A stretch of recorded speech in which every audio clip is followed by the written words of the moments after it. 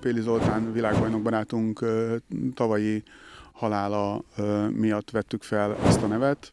A magyar pergető társadalom ismeri őt, sőt azok is, akik nem pergetnek, azok is, ugyanis egyetlen pergető világbajnokunk volt ő, ugye természetesen csapatban Szegedi Györgyel. Én biztos vagyok benne, hogy, hogy ha itt lett volna Zoli egy ilyen pergető verseny, mint ahogy volt is ezen a versenyen, a harmadikon indult is, jól érezte volna magát, és igyekszünk, hogy jó hangulatú verseny legyen továbbra is.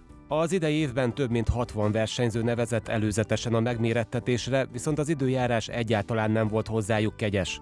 A Tiszató partján január 9-én hajnalban lezúdult ónos eső nem csak a csónakok vízre bocsátását, hanem a díny és háti kikötő megközelítését is szinte lehetetlenné tette. Általában minden horgászversenyen nem túl szívélyes az időjárás hozzá, mint a harcsafúgon, mint itt a pergető, tehát már hozzászokhattunk.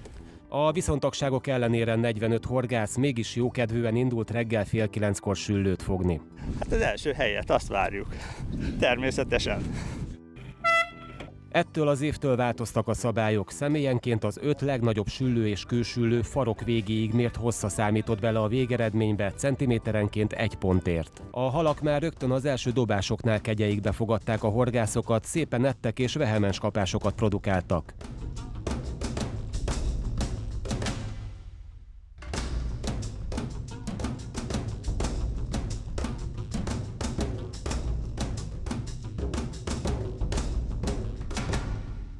Bódi Zoltán több kövest és nemes sülőt is horogra kerített rövid idő alatt. Volt egy harcsánk, ami leakadt, szerencsére, mert versenyben úgy sem számít, csak a süllő.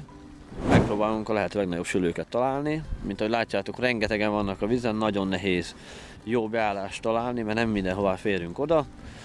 Megoldjuk talán. A helyválasztáson túl a megfelelő technika és tempó is nélkülözhetetlen volt a sikerhez. Megtaláltuk a csalivezetésnek azt az ütemét, amit itt most megeszik a hal. Le van lassulva a víz, nagyon hideg van, a lehető leglassabb csali mozgatással bírunk kapás kicsikarni. Aztán meglátjuk, mire lesz ez majd elég.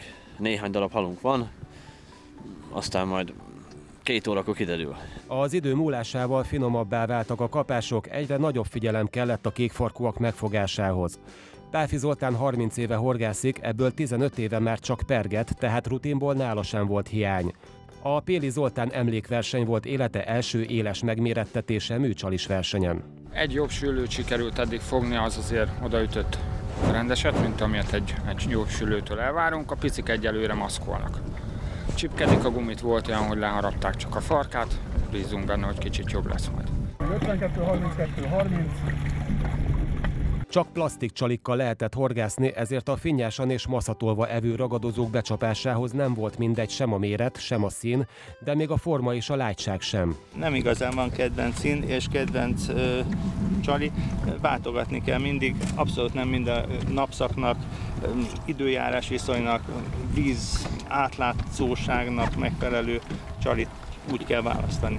A pergetés az egyik legizgalmasabb és legtöbb mozgással járó szakága a horgászatnak, ahol nem elég a jó csalit megtalálni, hanem megfelelően kell tudni azt felkínálni is. Sokan igazi fanatikussá válnak az évek alatt, és egyedüli módszerként űzik tovább. Sokkal izgalmasabb horgászati stílus, amikor kontaktusban van, az, közvetlen kontaktusban van az ember a halla. Abban a pillanatban, hogy odaüt, reagálni kell és, és meg kell tudni fogni. Az eredmény hirdetés a versenyhez hasonlóan jó hangulatban telt, talán azért is, mert minden csapat fogott halat az öt és fél óra alatt. Az első helyen a Stahovics Péter Nagy András páros végzett 275 cm-es összfogással, a dobogó második fokát szoros versenyben a Kovács Zoltán és Bársony Tibor kettő szerezte meg 257 cm-rel, a harmadik helyhez ezúttal 252 cm kellett, amit Olasz Lászlónak és Szigeti Tibornak sikerült elérnie. A pálya hallgazdagságát jól jellemzi a legnagyobb halért járó küzdelemben kialakult holtverseny, ugyanis Stahovics Péter és Bácsi Antal egyaránt 74 cm-es süllőt fogott, így megosztva nyerték el a trófeát vasárnap Tiszanánán.